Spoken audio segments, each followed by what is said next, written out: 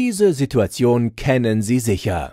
Diskussionen, bei denen es alle besser wissen und einer lauter als der andere ist. Und Sie? Sie stehen mittendrin und wissen nicht, was Sie tun sollen. Auch in den eigenen vier Wänden kann es unbequem werden. Auf Social-Media-Plattformen wie Facebook werden Vorurteile geschürt und Falschmeldungen unbekümmert geteilt. In Diskussionen haben sachliche Argumente gegenüber einem aggressiven Ton oft das Nachsehen.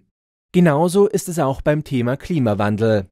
In Wortgefechten rund um die Klimakrise braucht es Fakten, alltagsnahe Geschichten und etwas Mut.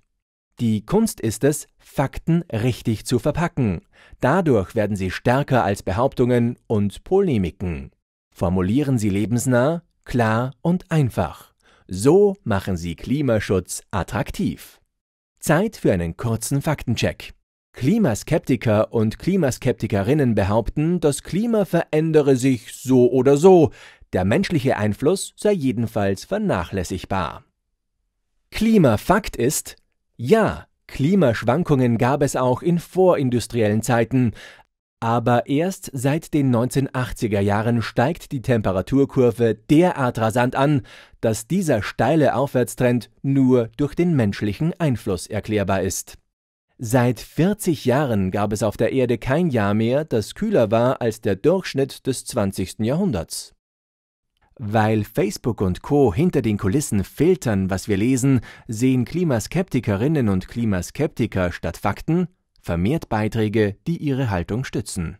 Skeptiker und Skeptikerinnen behaupten, dass die Wissenschaft darüber uneins ist, ob Menschen Einfluss auf den Klimawandel haben. Klimafakt ist, für 97 Prozent der Klimaforscher und Klimaforscherinnen steht fest, Klimaerhitzung hat menschengemachte Ursachen. 17 der 18 wärmsten Jahre traten nach der Jahrtausendwende auf.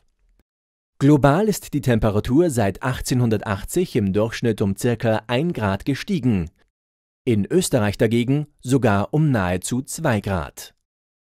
Höchste Zeit, jedem Kritiker und jeder Kritikerin der Klimakrise eine eigene Klimabotschaft zu vermitteln. Das Klimabündnis hat lebensnahe Tipps und Materialien zur Klimakommunikation für Sie aufbereitet. Antworten auf die Fragen, warum wir besser von Klimakrise statt vom Klimawandel sprechen, erhalten Sie auf www.klimartikulieren.at.